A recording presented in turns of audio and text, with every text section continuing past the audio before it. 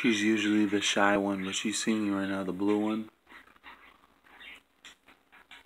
Normally it's the green one. It's hard to tell their colors right now.